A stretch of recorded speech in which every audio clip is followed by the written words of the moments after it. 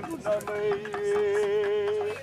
puname apunano eu punamele erro erro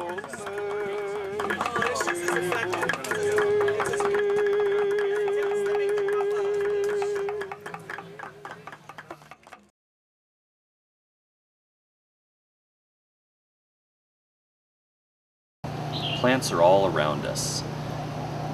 One of the interesting things about the fact that plants are all around us is that it gives us the opportunity to see lots of diversity. And, diversity is a, uh, uh, for some people it's a scary thing, for other people it's a fascinating thing. When you, when you go into a culture, you'll find that there are some people who really know a lot about the diversity of plants and animals and other kinds of things around them. And they have really intricate classification systems for these. They can tell you the name of each variety of a plant. Sometimes even individual plants have names. Uh, names are really important.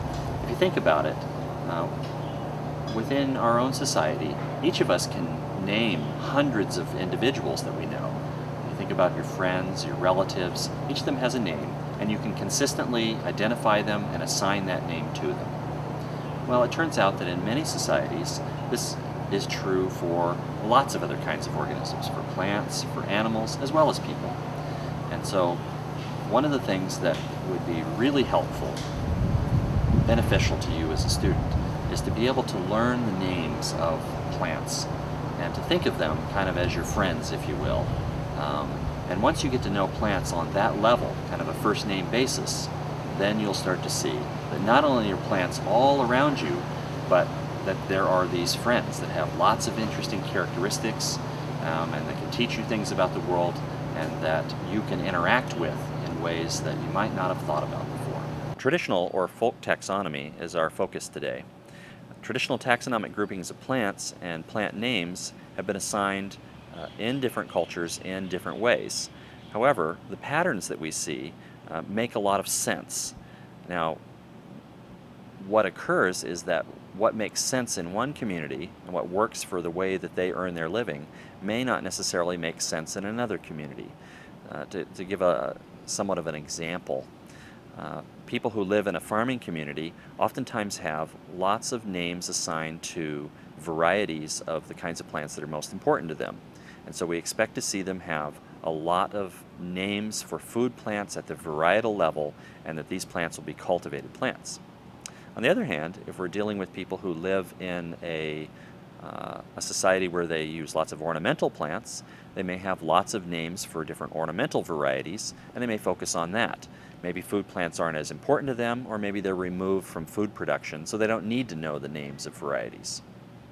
Alternatively, we might be in a society of hunter-gatherers, where they roam over a large area of land, and they might actually group together uh, plants that have similar characteristics under a single name, uh, plants that we would call as scientists several different species or maybe even different genera of plants, but they would assign one name because they have one commonality to them. Maybe they grow in the same environment or they have the same usage, they can be eaten for the same thing, you know, who knows what it is. Uh, but there's a lot of reasons why they're grouped, and the big point of this is that the patterns of naming of plants make sense. They're not arbitrary. One of the second characteristics of uh, traditional or folk taxonomy is that all human cultures assign names in these kinds of patterns. It's not just some, it's all. Now, the problem with this is that we look at our own society and we say, wow, well, I don't know a whole lot of plant names, or, you know, my cousin Eddie doesn't know a lot of plant names. Therefore, how can you say all cultures? Well, the simple fact is, is that not all people in all cultures uh, sign these kinds of names. Um, and in fact, many people are not involved in the naming process. All they are doing is they learned a particular set of names, and as much as those are useful to them, they retain them and pass them on to the next generation. And so uh, it, it's kind of a specialized deal to be part of the membership of a society that is actually assigning new names to things. In our society, this tends to be relegated to uh, different kinds of scientists, uh, particularly horticulturalists who name lots of new, new plants. Um, but that's not necessarily the same in other cultures. It could be a healer who's learning new uses and therefore assigning new names to plants. It could be a farmer who's identifying new diversity and therefore naming new plants. Lots of different kinds of people could be involved in it. When, when we consider the, the fact that there are sensible patterns of names and that uh, these arise in many different cultures, uh, we can start to analyze the patterns. And as we consider the different patterns of namings that occur across cultures, we start to have insights into those cultures and the ways that they think about the world. What are their perspectives on the universe? A lot of times this is played out in the ways that they go about naming things. If they talk about plants as part of their community, if they talk about plants as being alien to their community, um, sometimes we learn something about people's history. They may have plants that are named after a place they used to live or they may have plants that are named after a place they hope to live someday. There's lots of different reasons why you name something, uh, a particular name. There's also reasons why you group things together. So we don't just have names for plants, but we also have names for uh, groups of plants. So for instance, we think of the group grass. There's lots of different kinds of grass. Uh, even the average person realizes that there's many different species or kinds of grass, and yet we still have the word grass. For many scientists, the actual naming of organisms is considered to be the beginning point for the scientific discipline. One of the people who's pointed out as being the first ethnobotanist happens to be a scientist who's illustrated on the, in the image that you can see on the screen now. He conducted his research in the Arctic working with reindeer herders and he learned many kinds of traditional skills that they practiced. He, he learned how they hunted, he learned how they herded, he learned how they gathered medicines and gathered foods.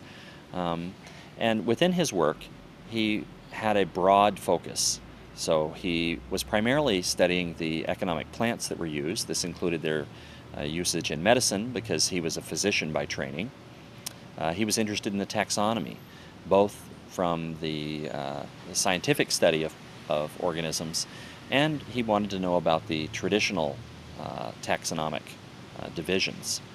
One of the things that he realized with his work with these reindeer herders, or Sami as they're known, is that they had a combination of a, a naming for each plant that consisted of a noun that referred to a type of plant and an adjective that referred to a variety of that plant. And, and it was true for fish and other kinds of things in the environment as well. Um, and so what he did was he took this classification system that he learned from these reindeer herders and he applied it to uh, the scientific study of plants and animals. Uh, in addition, one of the things that marks this individual as the first ethnobotanist uh, is that he used a set of reproducible methods. It is possible to go through his field notebooks and determine not only who he talked to, but when he spoke with them, what kinds of questions he asked, how he went about gathering the data, and uh, it would be possible for somebody in the present day to repeat his kinds of research. Now, obviously, the people he interviewed are long, long gone, uh, but it's still possible to do the kinds of work that he did again. And this is a set of reproducible methods. And this is what differentiates science from non-science, is the fact that uh, the work is reproducible and uh, uh, secondly, that it has documentation. In his case, the documentation is that he brought back samples of plants and also samples of the kinds of things that people taught him about. So in the picture, you see him illustrated wearing a set of clothing that he got from the reindeer herders. It's their style of clothing, although he's wearing it. And, and this was a kind of artifact that he brought back as an example of their kinds of knowledge.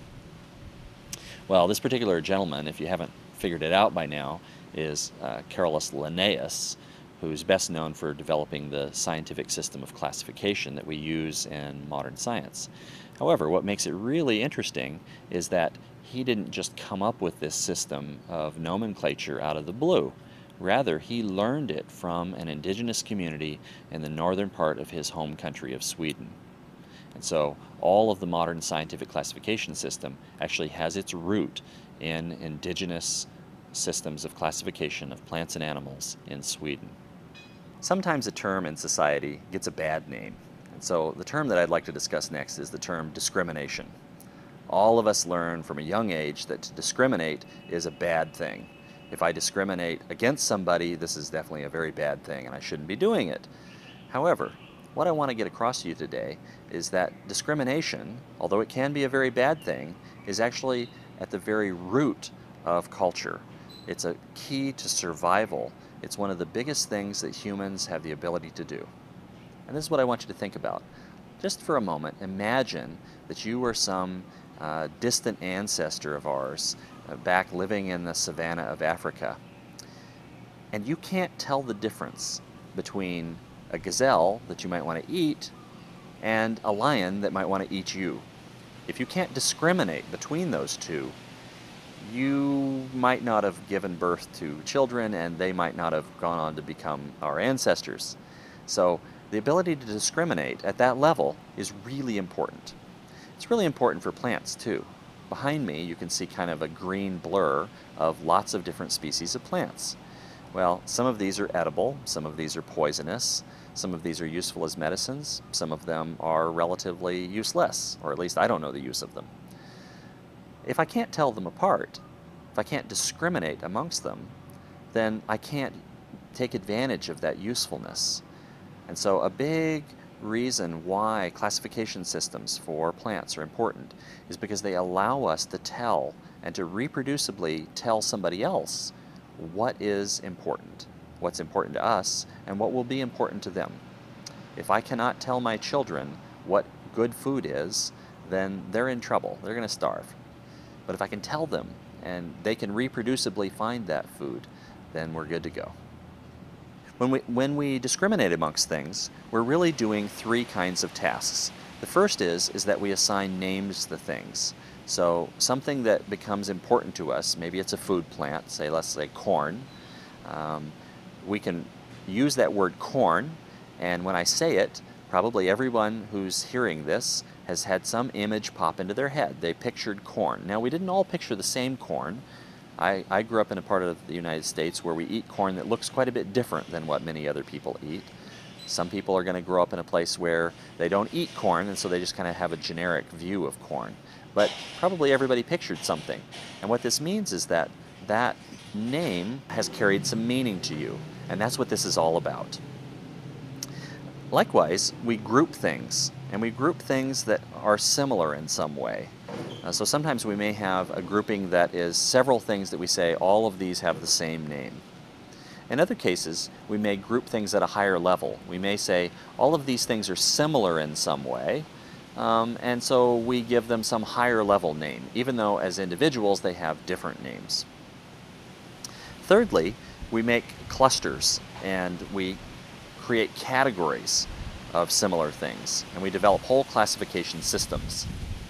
When we discriminate among things and we assign names to them, we can do this in a couple of different ways. Uh, in some cases, a plant may be so unique, it's so different from all other plants, that we just give it a single name.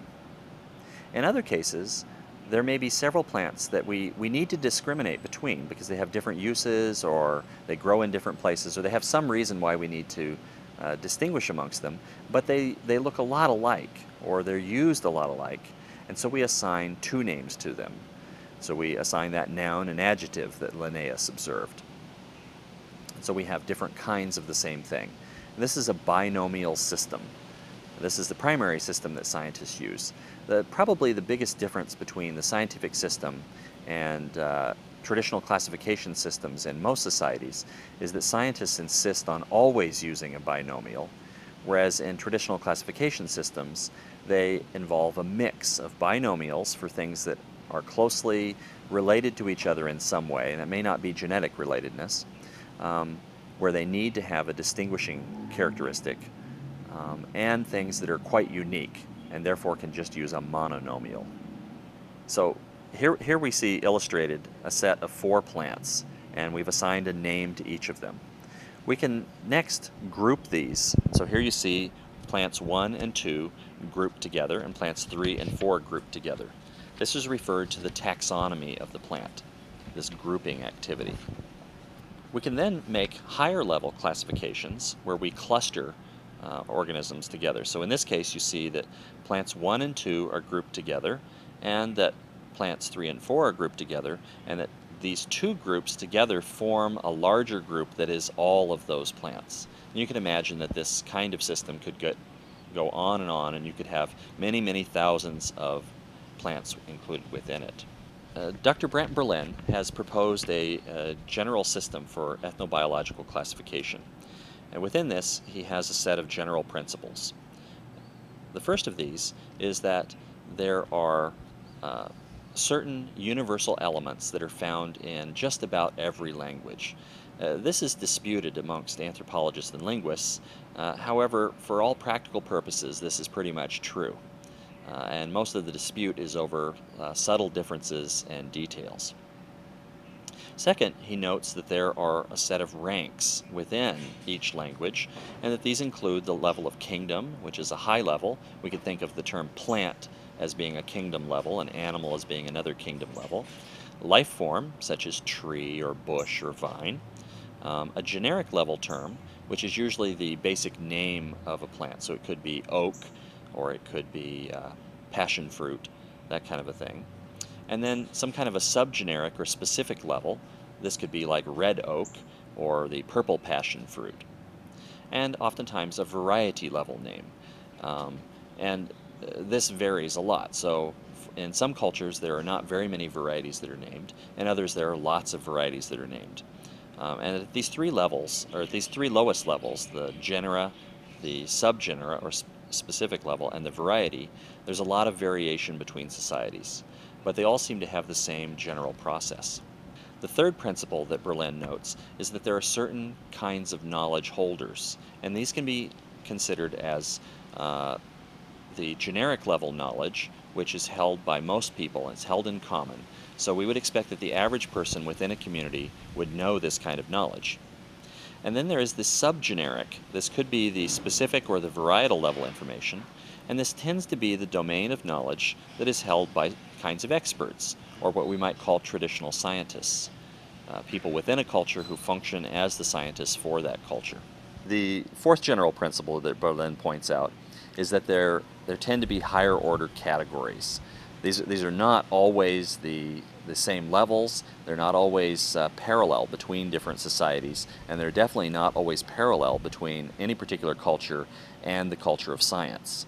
Even scientists themselves argue about the higher level categories, but the simple fact is that there always are higher level categories. Finally, Berlin has a set of general considerations that he puts forward uh, that seem to not encompass all cultures, but that encompass clusters of cultures or types of cultures, oftentimes based on their lifestyle, maybe farming communities versus uh, hunting communities. We're not going to get into these for this course, but it's important that you realize that there are some other considerations that have been pointed out. Uh, if you're really interested in this, it's a good idea to pick up Berlin's book and read through it. When we consider the process of assigning names to things such as plants, there's several issues that uh, need to be considered. The first of these is the issue of recognizing patterns. And so it turns out that people in a wide range of cultures recognize the patterns of plants largely based upon the morphology of those plants or the shape. So it could be leaf size, it could be the, the size of the plant, uh, whether it's a tree or a herb. Um, it can be the color of the flowers and so forth. However, sometimes people use some unusual characteristics for their uh, for the patterns that they recognize. Uh, some examples of unusual ones are the, the way in which a machete glances off of a tree when it strikes the trunk, uh, the smell of leaves when you crush them in your hand, um, the taste of a root when you pull it up and bite into it or taste a small amount of it. There's some unusual ways uh, that, are, that are not that common, but the bottom line is that everybody uses patterns to recognize them. And so if you want to learn a particular classification system and really understand it, you need to learn to recognize the patterns that the people who develop the system are using. When we collect data on plant names, it's really important that we collect data from more than one person. So the, the easy thing that people will try to do is they'll go into a community and just find some person and walk around and have them point at each plant and say, What do you call this? and write down the name. And they just leave assuming that that's the right name. Well, it turns out this issue of right names and wrong names is actually a big deal. Uh, you'd think it'd be easy, but it's not. Uh, and it's complicated for several reasons. The, first of these is that there are variations in the way that people within any community assign names. Some people will use uh, two different names for the same plant because they learned them differently. They learned them from different traditions. In other cases, somebody may forget and give you the wrong answer, and this may be accidental or it may be intentional. Uh, but in either case, you know, double checking with somebody else would have helped you figure that out. So, in collecting data on plant names and classification systems, it's really important that you gather information from a wide range of people within a particular community. However, one caveat is that because we realize that there's differences in the knowledge between experts and non-experts within the community, sometimes it's a good idea to compare the information from experts with each other and compare the information from non-experts with each other. There's different types of knowledge that are held within plant names. So for instance, uh, sometimes a plant name tells you a particular location, and the name of the plant might be different when it's planted in different locations. Sometimes there are culture-specific patterns to names that are used. Another big issue uh, when we consider assigning of names is that there are different cognitive patterns that occur when people are discussing and organizing things. So for instance, uh, a simple example of this is that we, we think of the colors that we see around us as being fixed and that the assigning of names should be pretty easy. So we think, well, if I say something is yellow, somebody in another culture should have a word that roughly means yellow, and we're talking about the same thing. But as it turns out, uh, although the spectrum of light that exists is a fixed thing and we can measure it, and the reflectance that we call colors is a fixed thing, it turns out that not everybody in every culture sorts colors the same way. So some people have relatively few colors and are more like me. I kind of grew up with eight crayons in my coloring box. And so everything to me is one of those basic eight colors. I don't recognize all these funny things like mauve and peach and that. These are something else. But for many people, they recognize those funny colors and they have terms for them. Um, I just don't happen to be one of those people. And the same is true of cultures. Some cultures recognize a wide variety and and might mix some things. So what we might call red and orange, somebody else might call all the same thing and lump it with brown. Although for us, we can say, wow, those are distinct, but it may not be the same for them. The same is true when it comes to assigning names to plants. People will group together plants for one reason or another and call them by one name, and it may not be the same uh, grouping that you find between cultures, uh, between the culture of science or between any other two cultures. And so uh, there's, there's a lot of kinds of variation, and that's pretty important when we consider the naming of plants. There's some additional concerns when we think about how people in different societies assign names to, to things, particularly plants. One of them is that there's a non-arbitrariness to the assigning of names. And now this is not true of all names, but it's true of quite a few, and there's some different ways in which this is, can occur. So for instance, sometimes a plant is given a name that has something to do with a sound that it makes. So it could be that the, the plant uh, has leaves that make a shimmering sound in the wind, and the name is somehow reflected of that, or it sounds like that sound. Uh, you find this more often with animals, where you may have a bird that its name sounds like the call that it makes. Uh, or another animal where its name sounds like the, the noise that that animal normally makes. Uh, but we have the same kind of thing happen with plants. Um, and sometimes there are patterns to the, uh, to the terminology that's used. So people will consistently assign color names to a, a, group of plants, or they may consistently assign size names to a group of plants. Uh, but there, oftentimes there's a logical reason as to why you're assigning a name the way you are, and it's not just kind of an arbitrary thing. There's also uh, substance and an evolutionary process that occurs to the kinds of categories that we use. To give an example, if we start to develop a category for a group of plants, it usually means that all of those plants have something in common that we recognize. And a lot of times this is some kind of usefulness. So we might have a name for all the plants that are used as medicine, for instance. And, and we just assign some kind of a name system where we have one plant that's used as medicine, uh, and then a second one gets added to the category. It's also used as medicine, and its name reflects that it's similar in some way, uh, particularly the, its medicinal usage, to the first one that we named. However, even though we find that there is substance to categories of knowledge, uh, it doesn't mean that all categories have a, a, clear substance to them. So sometimes it appears that there's a bunch of things that are arbitrarily thrown together. And there's probably a lot of good reasons for this, but uh, one reason that I've been able to uh, understand by exploring some different languages is that it appears that at times people will develop a category that has a substantive meaning and everything that's within it makes sense together. However, they then subsequently move to a new environment or maybe they change the way that they're living their lives and that original meaning is now uh, vague or lost. And, and so you, you, kind of lose track of the meaning behind it. Uh, a good example of this is the word in English wort, which we see this assigned to quite a few old English common names, pennywort and uh, so forth. And, and at one time, this was a category. Wort basically meant plant. And there was a whole grouping of plants that all went under that category, and, oft, and many times they were all used medicinally. Um, however, that, that commonality is really lost, but this word is retained as a piece of the name of quite a few uh, plants. Um, but certainly many of those plants have actually had their name change. So uh, that, that's an example of it being lost. And all of this is really part of the evolution. Um, the naming of plants is not a static thing. Somebody doesn't name a plant once and then that name sticks forever. Uh, and so names are changing for a lot of reasons. Uh, just the same as the rest of a language changes over time, uh, the naming of a plant will change over time as well, and the same holds true for the naming of a category.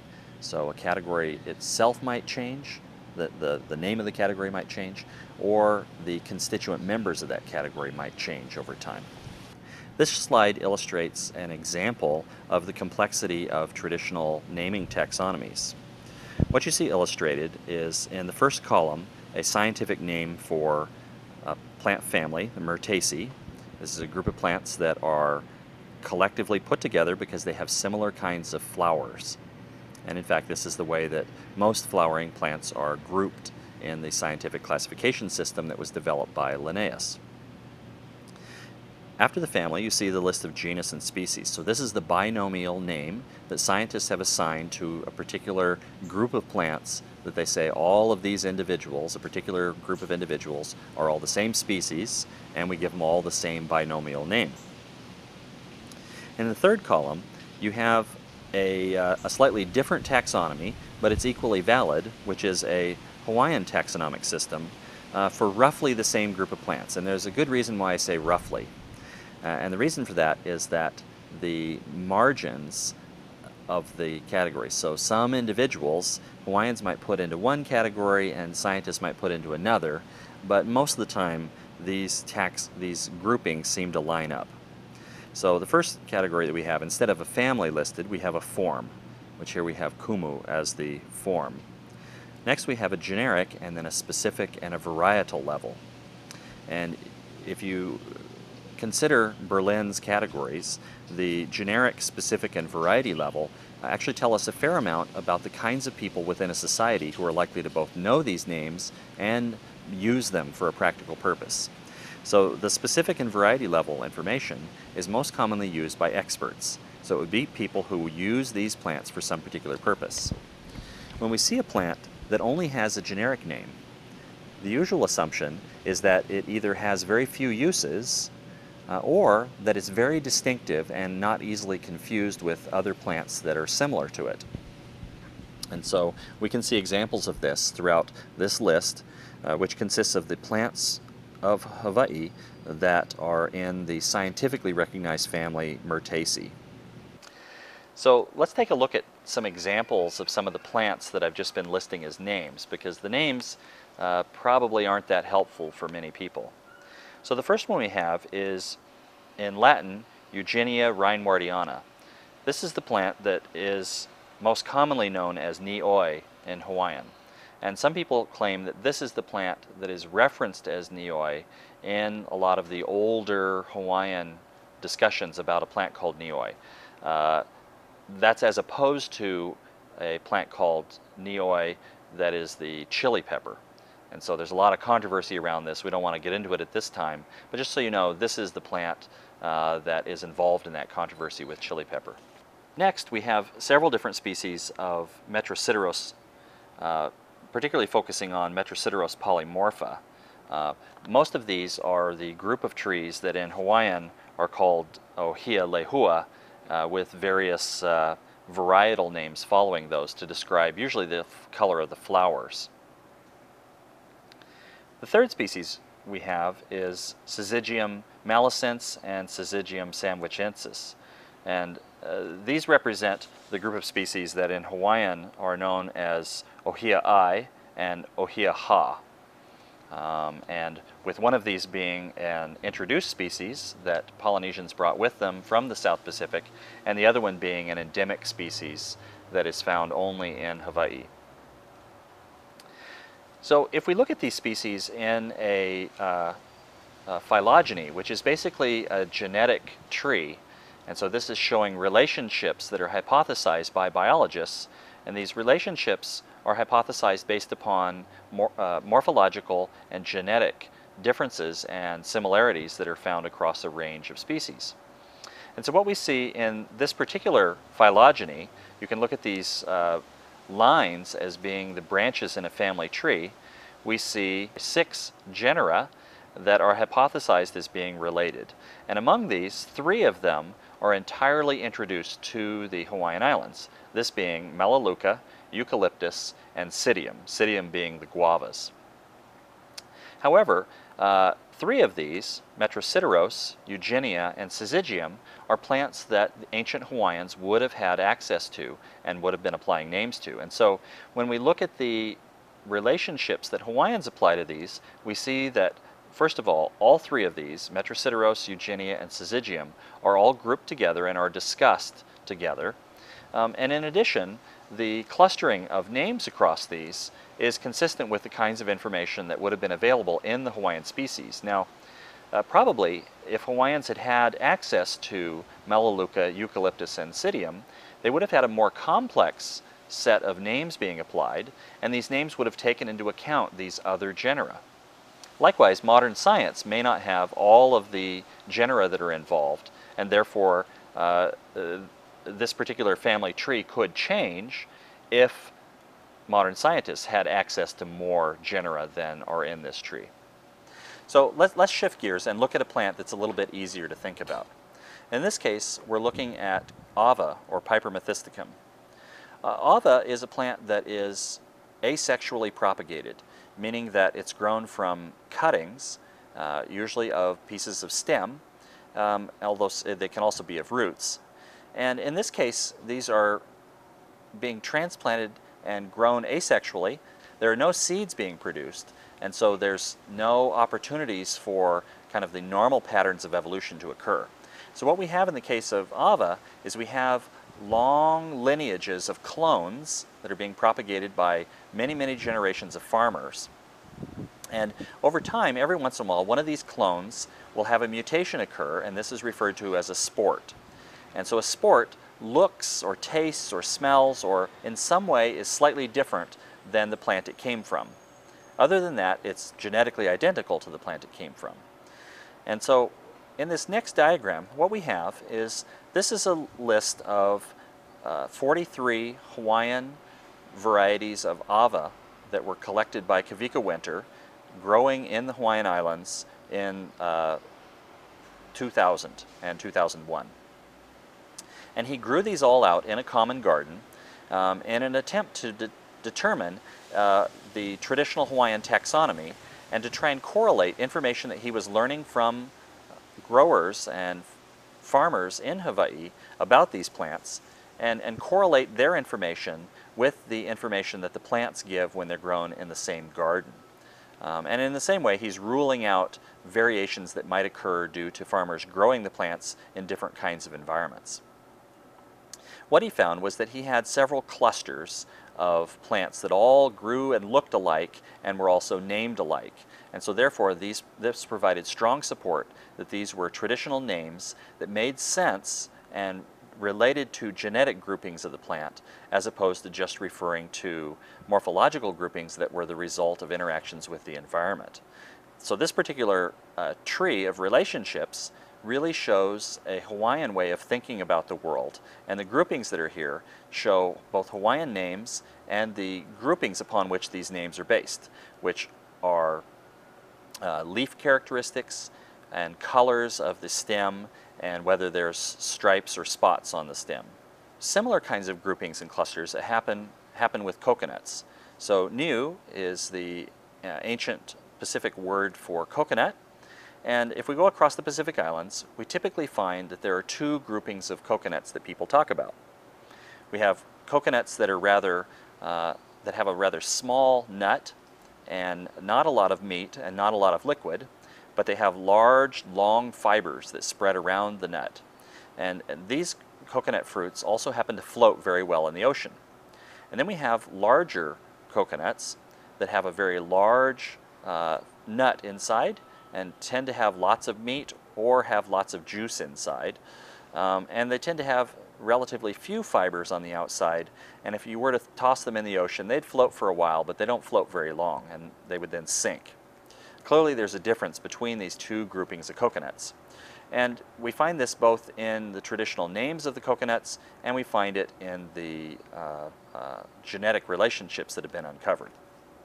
So uh, this slide illustrates the Samoan names, Niu Kafa and Niu Vai, and it so happens that these are the same terms that scientists now use, uh, largely because some of the first scientists to work on the varieties of coconuts happened to typify them with Samoan varieties. One of the interesting things about coconuts is that in many parts of the Pacific and Indian Ocean regions, uh, they are associated with the coconut crab. Now, there's a fair amount of controversy here because some people say that coconut crabs don't need coconuts and that coconuts have nothing to do with coconut crabs. Uh, personally, I have seen coconut crabs up a coconut tree cutting coconuts and I have seen them eating them on the ground. Uh, I can assure you that coconut crabs have a lot to do with coconuts. However, coconuts do grow where there are no coconut crabs. For instance, in Hawaii there are no coconut crabs, but surely we have coconuts. This map shows the distribution of coconut crabs.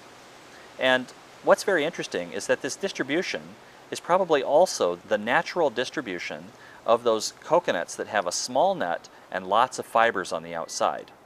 The implication is that both the coconut crab and the large coconuts, or Niu Kafa, are somehow related, that the crabs are distributed to the same places that the coconuts are. An implication of this is that these coconuts are naturally distributed without the aid of humans, because we have little reason to believe that people move the coconut crabs around, um, although the coconuts are often implicated as being human distributed. This set of photographs illustrates some of the diversity of coconuts that's been collected in different locations. So on the left, you see coconuts in a collection in Samoa. Uh, note the variation in size and shape of the coconuts. Each coconut variety will consistently have the same uh, size nuts with the same size uh, fruit inside. On the right, we see a large collection of mature coconuts uh, at the International Germplasm Collection.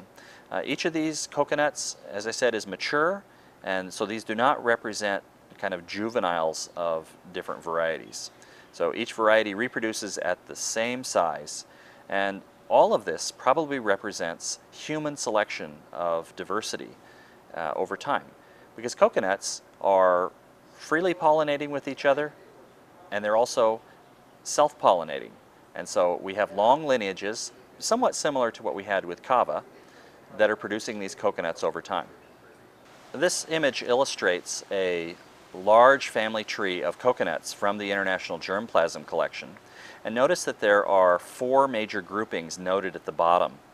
And these groupings really represent the genetic relationships amongst all of these coconuts. And this really represents the, the total diversity of coconuts around the world. It's divided into two groups. On the left, we have those Niu Kafa, those big fibrous nuts that are associated with the coconut crabs. And notice that they have their own lineage that's distinct from the coconuts on the right that are groups one through three.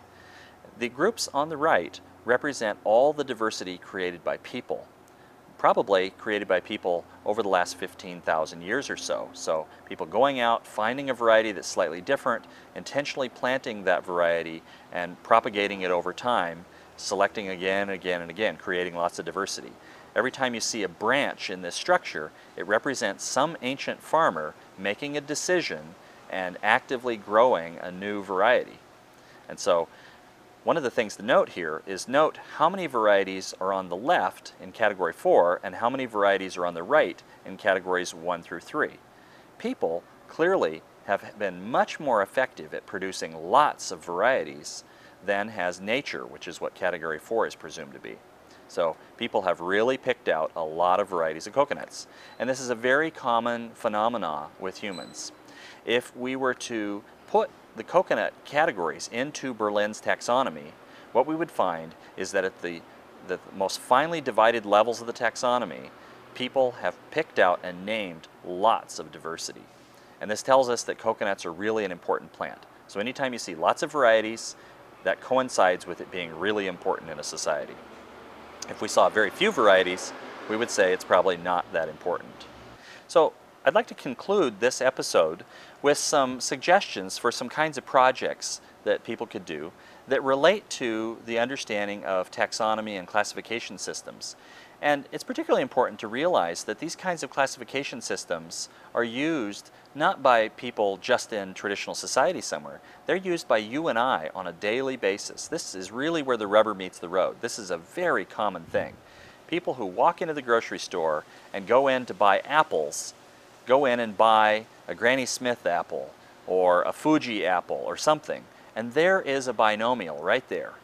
So within the average grocery store, you can find a classification system that is consistent with what I've shown you in this presentation.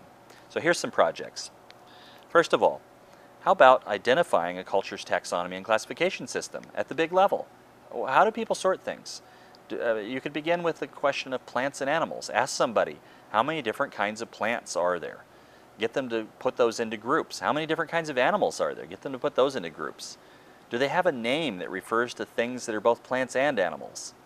You know, uh, what's the higher level groupings here? You could uh, conduct a study that compares two cultural systems. It's pretty easy to find uh, groups of people who represent different cultures. Uh, most of us live in communities that are diverse enough that we have at least two cultural groups present. Ask a group of people a set of questions that are specifically laid out, such as list all the plant foods you know, and then ask the same question of a second group of people, and then get them to put these into categories, grouping them, and see if they come out with the same system or something that's very different. And the ways in which they're similar tells us something about the two cultures, and the ways in which they're different tells us something.